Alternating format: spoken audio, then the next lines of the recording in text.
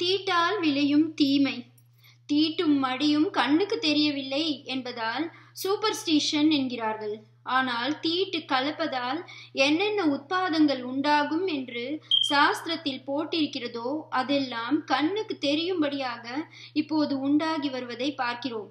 தனி மனிதனின் வியாதி வக்கை மகா க்ஷேத்திரங்களிலும் விபத்து நேச்சுரல் கலாமிட்டிஸ் இயற்கையின் சீற்றம் என்கிற வெள்ளம் வறட்சி பூகம்பம் எல்லாமே மடி தப்பான காரியங்கள் அதிகமான பின் விருத்தியாகி கொண்டிருப்பதை பிரத்யட்சமாக பார்க்கிறோம்.